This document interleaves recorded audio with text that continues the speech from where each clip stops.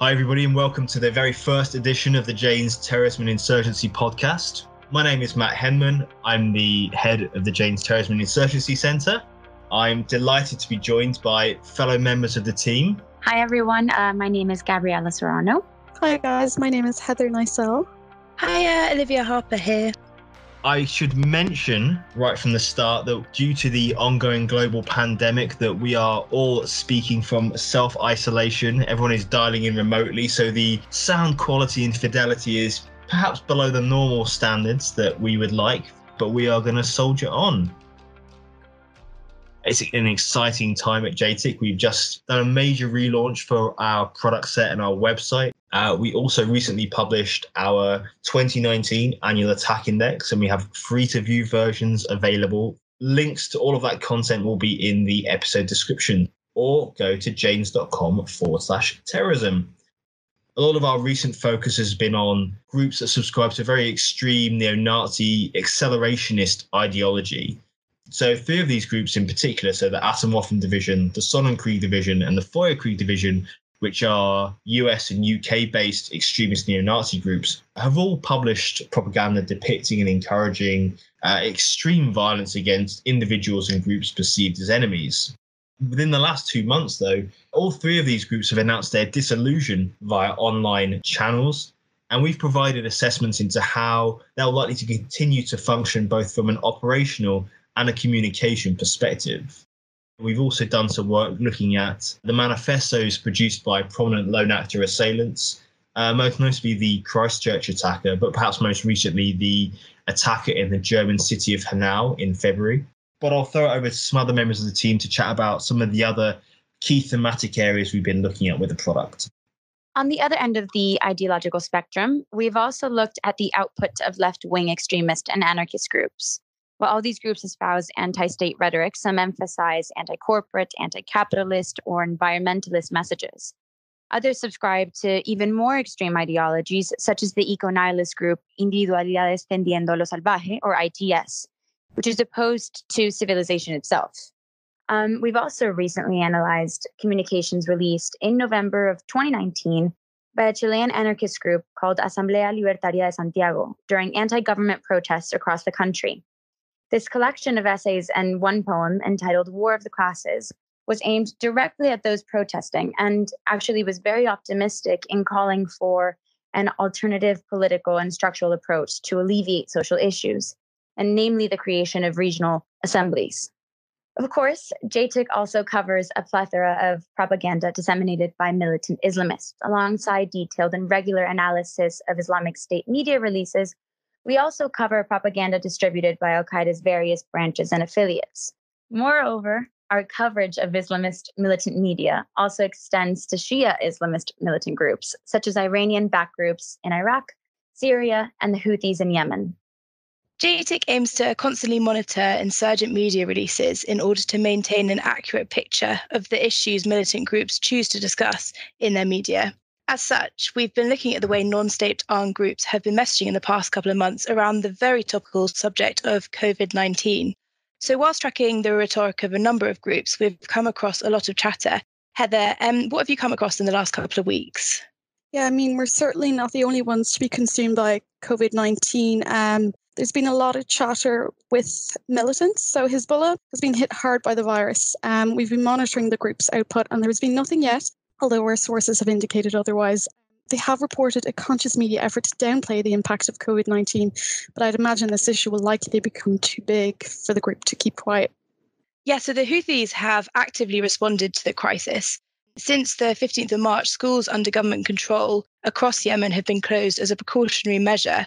Um, and Ansar Allah has similarly called upon schools in areas under its control to be closed and are alleged to since have instrumentalized the educational vacuum to enroll students in newly opened camps for child recruits, similar to its summer camps, hence influencing and recruiting young militants to bolster its ranks instead. Yeah, the Taliban referred to the virus as a curse from God, but also bizarrely advised people to heed the warnings of the US's Center for Disease Control. On pro Islamic State media platforms, users have also expressed pleasure in seeing the Chinese government getting a taste of its own medicine being punished for its oppression of the Uyghur community This idea of revenge has also been noted when users have stated that enemies of the Islamic State were being punished for their crimes against the Ummah.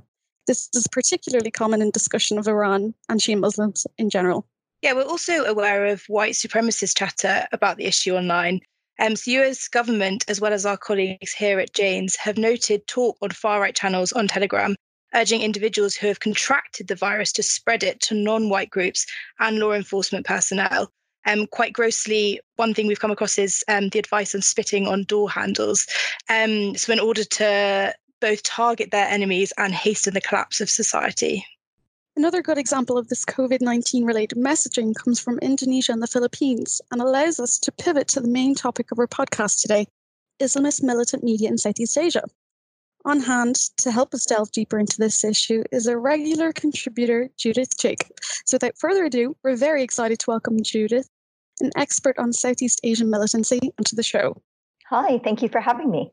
Could you just introduce yourself to our listeners and give a quick rundown of your areas of expertise? So, I am a political and security risk analyst.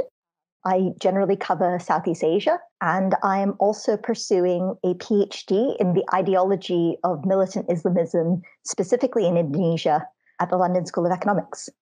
Excellent. Thanks again for joining us. As we've just mentioned, we've noted that a number of Indonesian and Filipino Islamic State linked accounts on Facebook, Instagram, and Telegram have been urging their followers to conduct attacks or prioritize jihad during the current upheaval caused by the COVID 19 pandemic.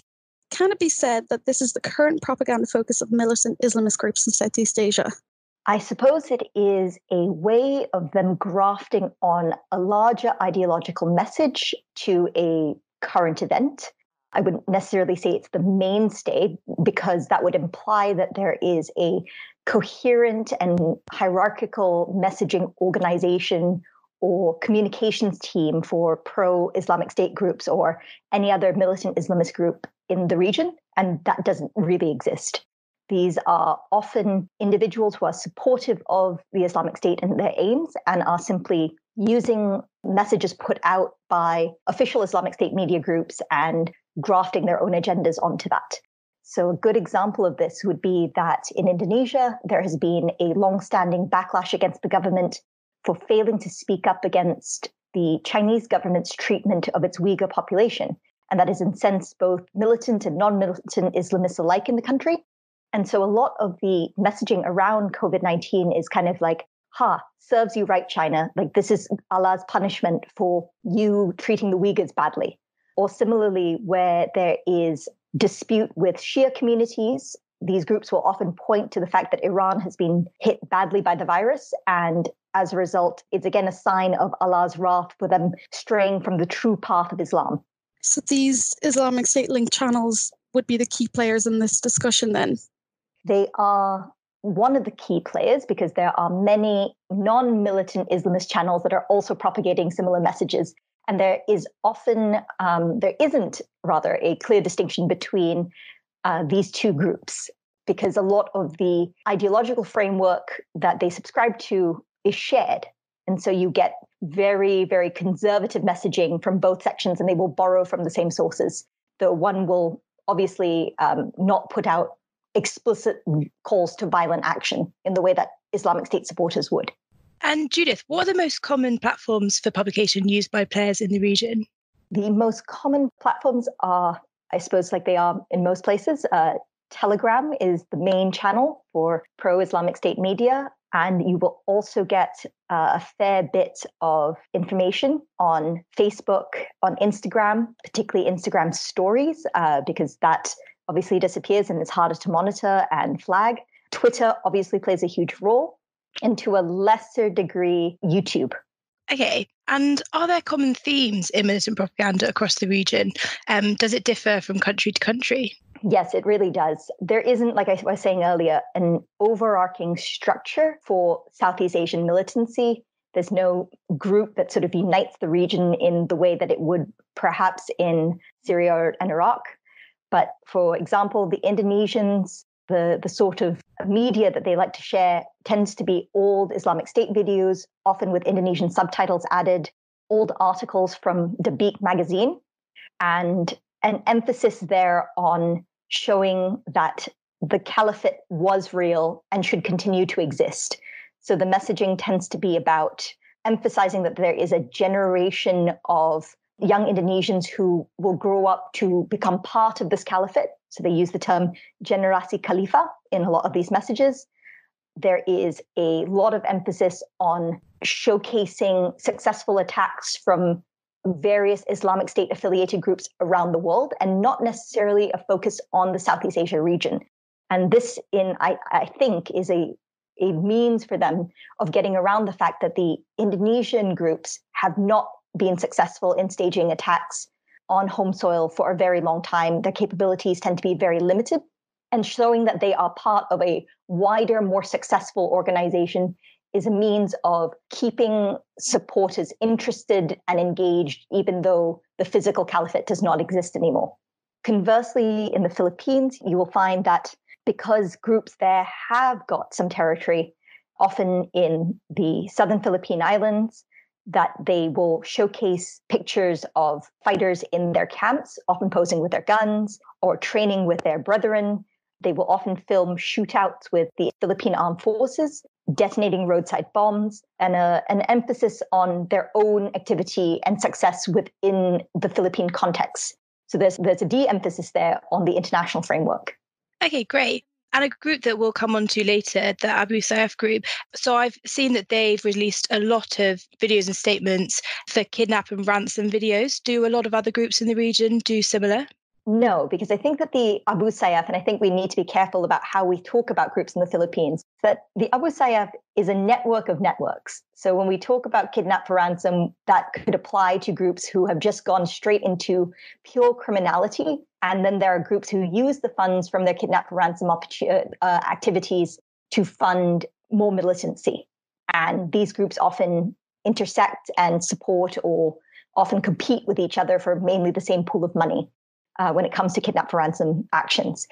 And even then, you'll find that when it is an attack that is conducted or a kidnapping that is conducted for purely financial purposes, regardless of whether the group is focused on criminal activity and like the drugs trade or on militancy, they will perhaps capture Malaysian fishermen for small sums of cash that sort of thing they will not publicize because there's no point in publicizing that. It's petty, it's small, it won't gain you kudos from potential followers or potential recruits.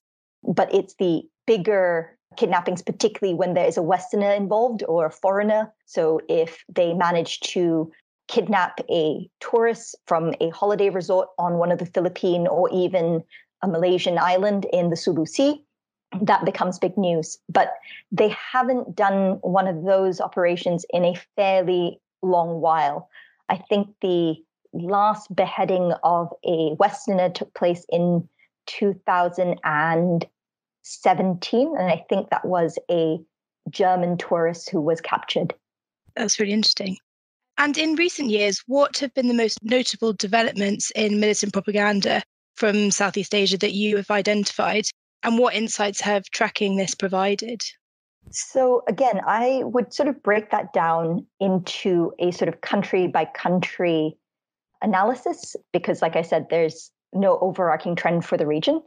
And I think it needs to be emphasized that there are linguistic differences that make it very difficult for Filipinos in particular to access Malay language material that the Indonesians and the Malaysians, because of the shared language of Bahasa Melayu, Bahasa Indonesia, um, have greater access to. And more importantly, when Islamic State had a more um, had a had a greater output of propaganda material, there that material was almost solely translated into Bahasa Indonesia or Bahasa Melayu, um, and not into any of the multiple regional languages that exist in the Philippines.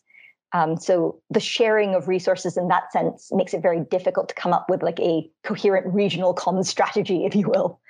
Um, so the main um, trends I've seen in the region, I suppose, in, in Indonesia specifically, let's start with that, um, have been, uh, frankly, a decline in the level of content because they were, frankly, quite dependent on Islamic State for new material. And since the fall of the physical caliphate, that has led to a dearth of new propaganda to put out. So, what they've been doing instead over the last few years is repurposing or repackaging existing material and perhaps dubbing it or translating it into Indonesian if it wasn't already done so before, or taking existing articles from Dabiq and translating those or resharing those that were translated amongst their followers. Again, the overarching motivation for doing so is to show that the caliphate was an actual entity because the Indonesians who support Islamic State believe that this is fundamentally about praxis, unlike those who support Al Qaeda, and about showing that we have actually physically done this. And that is what they want to emphasize that there is a future for this. And it's not about waiting around to see for the right time, like this was the right time to establish a caliphate and to inspire future generations to perhaps attempt to reestablish this soon, if possible. Conversely, in the Philippines, after the siege in Marawi in 2017, a lot of the propaganda material was footage from that siege because there was a lot to draw on there. It was a very, very successful and a huge uh, attack for the region.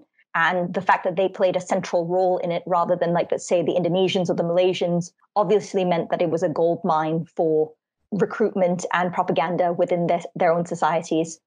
More than that, they have had a steady stream of attacks in the last few months.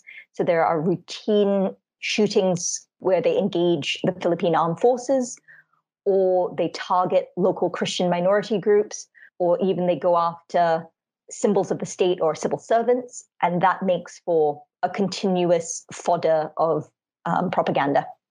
Great, thanks so much, Judith. Given that you said that there's no overarching theme for the region or trends, what is the current trajectory of militant Islamism in Southeast Asia? And how do we anticipate this changing over the coming six to 12 months?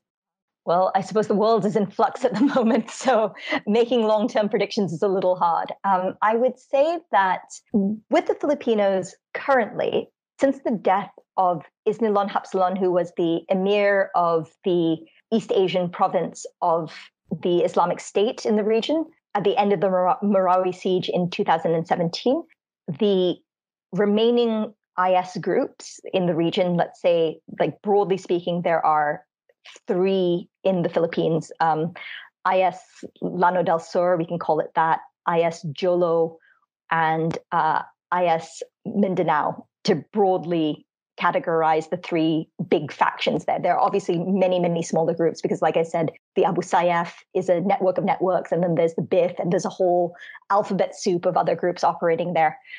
Their fighters still have significant financial resources, having taken money and other stores of wealth from Marawi itself. And they have financial links with Malaysian benefactors and others from overseas and they have access to weaponry, as we can see from the ongoing attacks, as well as the skills to conduct those attacks. So I would say that the threat from these groups remains very high. The only question is is whether the unity between the various factions will hold and whether or not the current leadership will be able to motivate the fighters to try again to establish a large unified territorial stronghold because that still remains an aim. But whether or not people are satisfied with the credibility of the leadership, unlike uh, Hapilon, who had long standing links with all of the various factions and was able to unite them and hold them together, it's unclear whether or not the current leadership of all of these smaller groups are have the clout to do so. So that's the, I suppose, the the the mitigating factor there to watch for. With Indonesia, frankly, the groups are incompetent, and that is to the benefit of the Indonesian security services, who are quite competent. So that's a, a relief. And their access to weaponry is quite limited. Their skills are incredibly limited. I think most government estimates put the number of Indonesians who went to fight in Marawi and therefore could have gleaned some skills at at most 20 and whether or not those people survived and were able to make it back into Indonesia remains quite low. Indonesia, in the past three years has seen one significant attack in 2018 with the Surabaya bombings. But since then, there was a massive, massive crackdown on the JAD network that facilitated those attacks. And therefore, the network of pro Islamic State groups remains quite limited. Simultaneously, you have groups that are not affiliated with the Islamic State that are much older and have much deeper roots in Indonesia, such as the Jemaah Islamiyah and the Darul Islam, who remain active, but again, do not have the access to weaponry and resources to be able to pose a credible threat to Indonesian society. Great. Thanks so much for providing us with such an interesting insight into the world of Southeast Asian militant propaganda and Southeast Asian militants in general. I mean, I know I, for one, wasn't aware that the Abu Sayyaf group was a network. But yeah, we'll talk more about that now. You'll be staying on the line with us now as we turn to the final section of our podcast, our cultural discussion on the Battle of Marawi. Before we get started, Judith, um, I know we briefly mentioned it, but could you give us a brief summary of the Battle of Marawi and the individuals that led it, and maybe um, something on its broader significance in Southeast Asian militant Islamism? So, the Battle of Marawi was said to have begun on the 23rd of May 2017, but the lead up to this battle was quite protracted. We saw between, I would say, mid 2016 and May 2017, an increase in attacks by groups in the Philippines who were vying for IS recognition. There were calls from these groups to other IS supporters in the Southeast Asian region, particularly Indonesians, to join them in their fight, particularly if they couldn't make it to Syria or Iraq. Um, there was also an increasing unification of these groups under Hapilon's leadership in Basilan and then subsequently Lanao del Sur before they began their takeover of Marawi. These groups had probably been planning to stage their attack and takeover of the city at the end of Ramadan so they could do what Baghdadi did and stand up in front of a congregation at the end of Ramadan and say that, hello, this is our, our new caliphate. See, this is Allah's will shining down upon us, or something like that. But because the Philippine armed forces had credible intel as to where Hapilon was hiding out in Marawi and launched a raid on the 23rd of May, they began their assault on the town earlier than probably they were planning for. There was, as I was saying earlier, involvement from militants from other parts of the region, such as Indonesians and Malaysians, but those numbers were not particularly large, though I will say that the figures provided are quite unreliable. Most regional government estimates suggest that there were 20 Indonesians who went, maybe a handful of Malaysians, but their role seemingly was about financial linkages with Islamic State affiliated groups in their respective nations and with Syria itself. A key figure in this financial network was a man called Dr. Muhammad, who provided a lot of funding from Syria via Indonesia and Malaysia, and then through those nations into Marawi itself. The other significant groups to consider within this fight, we have, like I said, Hapilon, who was leading a pro Islamic State faction of the Abu Sayyaf in Basilan but there's also the Maute group, who were founded by two brothers, Omar and Abdullah Maute, and they are members of a fairly wealthy and well connected family in a town of Butig, and they had studied abroad in the Middle East. And they had come back and started to recruit and indoctrinate young people within their town. And a lot of this is grounded against a backdrop of 40 years of Moro insurgency against the Philippine state and the military's repressive tactics in these towns like Butig and in the wider Mindanao region. Initially, uh, the Mautes, I think, had tried to form an alliance with the Moro Islamic Liberation Front, one of the main Moro liberation groups in the Philippines. But the MILF has subsequently entered peace talks with the government and successfully um, in, um, in many ways disarmed and are forming a legitimate government of the region. The MILF, the best acronym out there, I suppose, for any terrorist organization, uh, did not want to work with the Maute brothers and thus sent them down a path to liaise and form alliances with much more extreme and increasingly Salafist and uh, pro IS supporting organizations such as factions within the Abu Sayyaf and the BIF, the Bangsamoro Islamic Freedom Fighters, who also pledged allegiance to Islamic State in 2014, um, who were themselves a breakaway faction from the MILF. Uh, so again, an alphabet soup of organizations uh, that were involved in this takeover. Great. Well, thank you for that informative overview. Um, so we've all watched two documentaries on the battle, and I think it would be interesting for us to discuss kind of the main themes that we thought they touched on and the questions that they raised for all. Uh, so the first of the two was an episode of the Philippine investigative journalism show Brigada, which focuses on two members of the Philippine military's combat camera team in documenting the Battle of Marawi. We see in the footage filmed through a GoPro what those final weeks of operations were like for soldiers, as well as the toll it can take on their families and their mental health. Um, this documentary also focused on the widespread damages in the city, which essentially, even after the battle was over, made it unlivable. Secondly, we watched a documentary by Philippine news network Rappler entitled Marawi 153 Days of War. This one is split up into 12 sections. Some are an introduction to the conflict, the taking of Christian hostages, the intricacies of urban warfare, and how civilians have attempted to regain some normalcy in their lives. Um, the links to both of these documentaries will be provided in the episode description if any of our listeners are keen to watch them. So, to kick it off and linking it to the main theme of this podcast, I think we should note that propaganda is an important aspect of any conflict and it's used by multiple parties involved. The Combat Camera Team documentary um, included many of these propaganda elements. Um, the majority of the documentary showed not only mopping operations near the end of the conflict, where security forces had a slight upper hand, as opposed to you know the intense and, and costly fighting. Yeah, and in that documentary, there was a heavy emphasis on the killings of Isnilon, Hapilon, and Omar Maute. Um, the documentary showed footage of their bodies being dragged through the streets via um, UAV footage. Uh, yeah, I thought that that element of the footage was really interesting. There was that real air of the uh, triumphalism and um, a desire to showcase the uh, you know the victory that had been won by the you know, the Philippine armed forces in that conflict. Yeah, I, I, I agree, Matt. I also think it's important to maybe discuss some, as we've been doing, some of the specificities of the region and the conflict and the way that Islamist militancy is practiced in the Philippines, as we saw in these documentaries.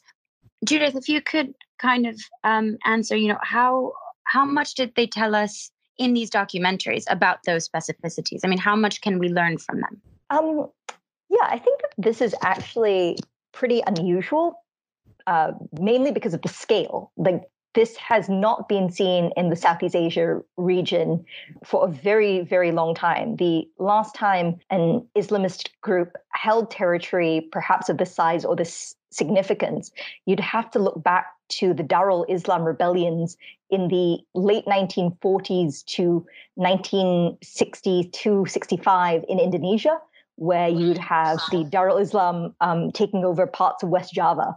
So the territorial stronghold that they were able to establish in a town is quite significant.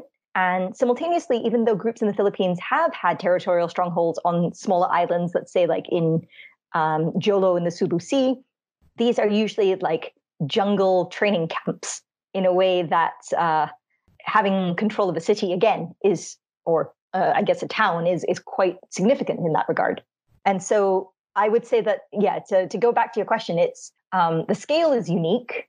The level of quasi urban combat is also unique and something that you, I guess, the Philippine armed forces were in no way expecting because they're used to fighting again in the jungles, in having a sort of more guerrilla style warfare or non conventional conflict in non urban spaces with these uh, fighters. But now you're seeing this take place in a city. You've got hostages at play. You've also got a population that seemingly supported a lot of the actions taken by these groups.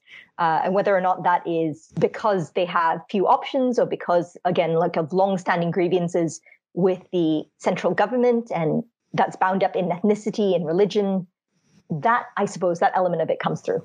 They were quite candid about that in, I mean, certainly in the in the Rappler documentary, but also to an extent in the uh, in the Brigada documentary too. You're highlighting the extent to which the security forces just were not in any way kind of prepared for that kind of fighting and for the way in which the militants were then able to adapt to that and exploit, I guess, that unfamiliarity with, with urban warfare and that, you know, what they call kind of combat in, in an urban space. I think it was quite interesting the different ways in which the the military response was portrayed in the two documentaries. I think what was really kind of shocking from the the Brigada Combat Camera Team documentary was you know, you could see very up, up close the scale of the destruction, you know, in the commercial area of, of Marawi, where a large amount of the fighting had taken place, but it didn't kind of give much detail as to how that destruction had taken place. And it was only really if you what if you kind of either knew about the fighting or if you then watched the the Rappler documentary, you actually saw you know that fairly extensive use of airstrikes, of artillery strikes to target fighters who were you know in placed in you know dug in positions in buildings, etc. And and that's what generated you know that large part of you know, the widespread destruction to those key commercial areas. Yeah, and it highlights, I suppose, the sort of resentment that would be generated in the aftermath of this. Like there is a very good um, Washington Post article that sort of goes back to the city and goes back to the camps where all of the refugees have been held or the internally displaced people have been held two years on. And there's very, very little uh, development from there. It seemed that the response initially was not only one that was unprepared for this, the sort of combat, but the initial choice to respond with huge amounts of firepower was seemingly very, very disproportionate and designed almost almost as if it was designed to engender even more antipathy towards the central government.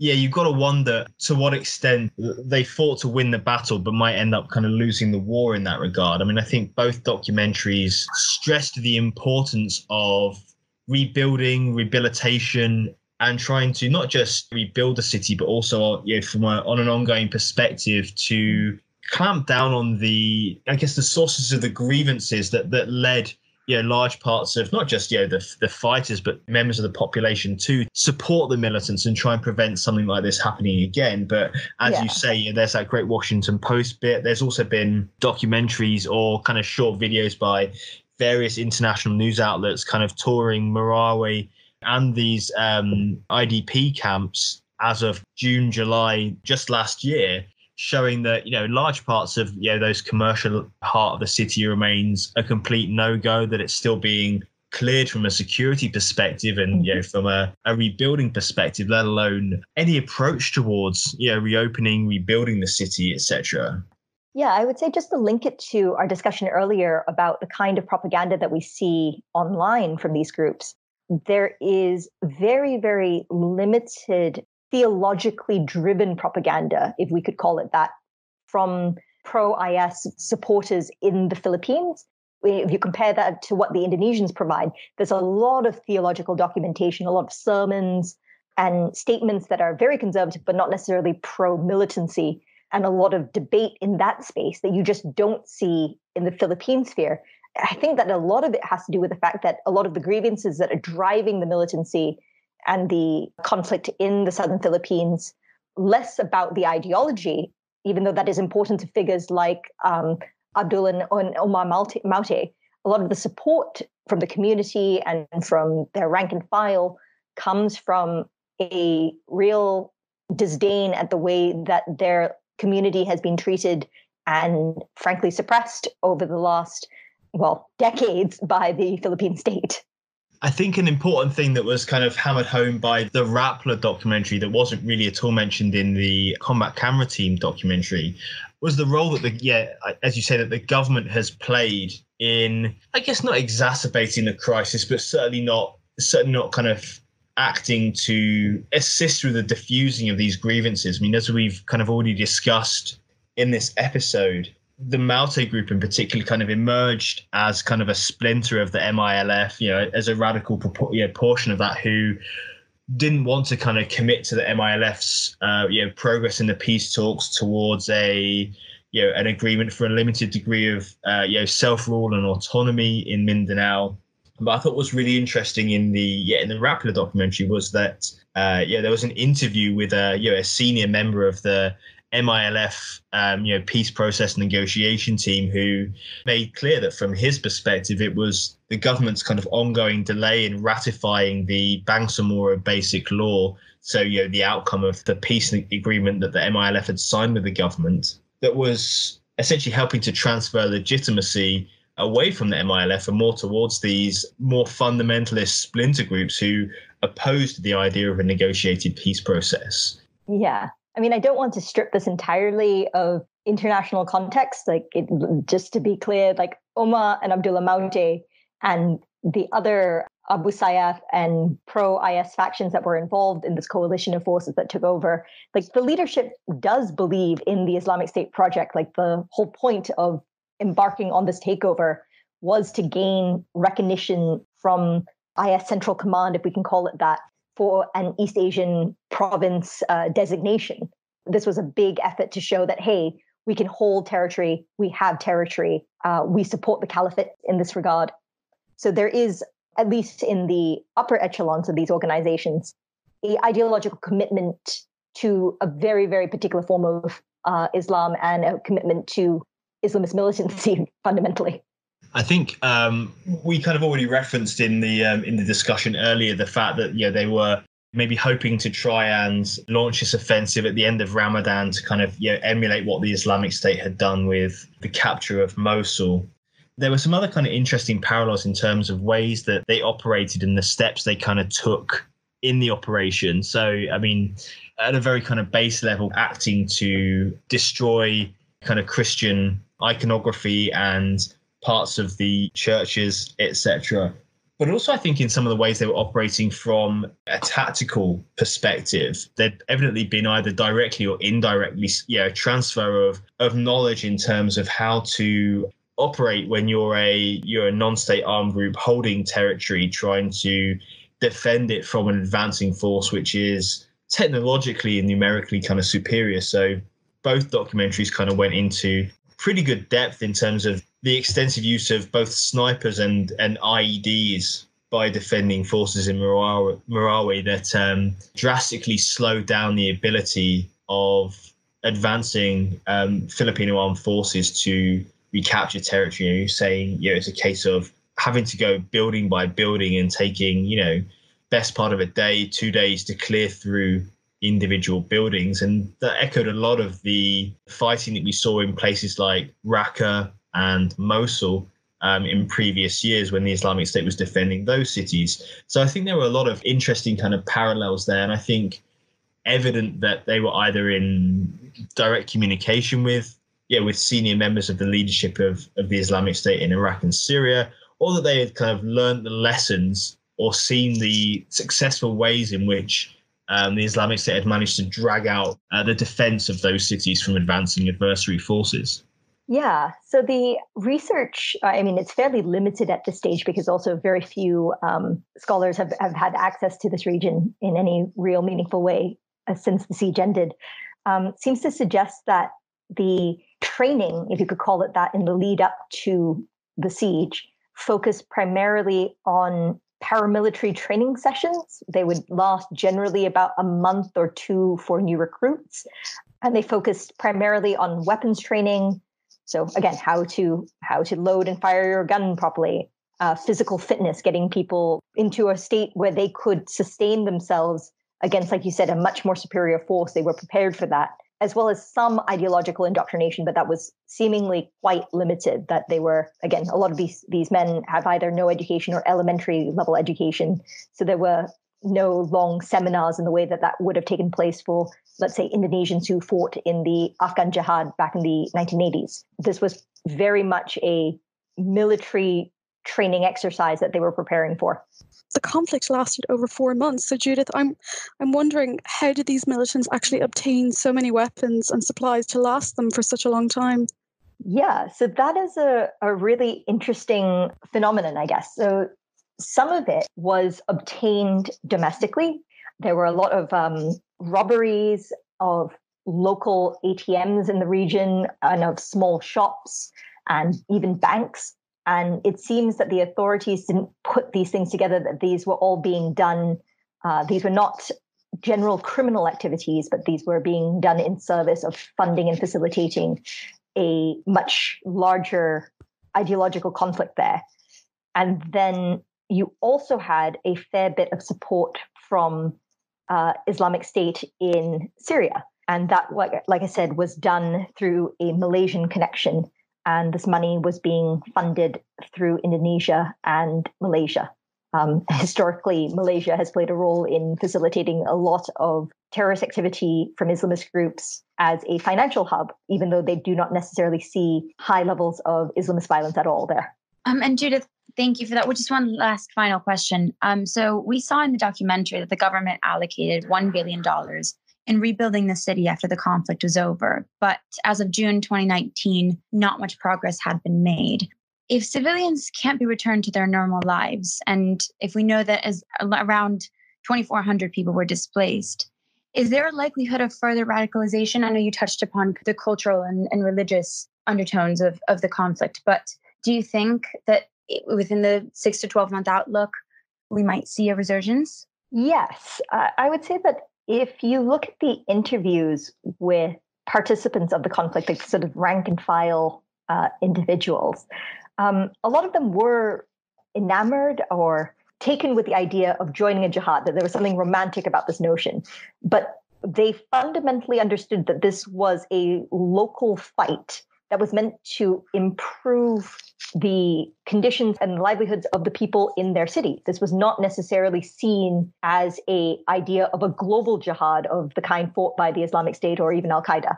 And so, if the local grievances that are fueling the rank and file joining persist, it stands to reason that there's no reason why these groups, who are much more ideologically motivated, can capitalize on that for future activity. Great. Yeah, no, that makes a lot of sense. Well, thank you so much, Judith, for um, for taking the time to speak with us and to answer all of these questions. Um, we really appreciate it. No problem. So that brings us to the end of today's podcast. Um, I'd like to thank everyone for listening, and I hope that everyone enjoyed it. Um, if you have any feedbacks or comments, we'd love to hear from you. You can find all of our contact details in the episode description, so please don't hesitate to get in touch. Once again, I'd like to offer a massive thank you to Judith for joining us um, and for the team for participating. For a little bit more information about what JTIC does, to learn more about our militant propaganda analysis product, or for any other information, go to janes.com forward slash terrorism. Thanks once again from everyone here. Till next time. Bye bye.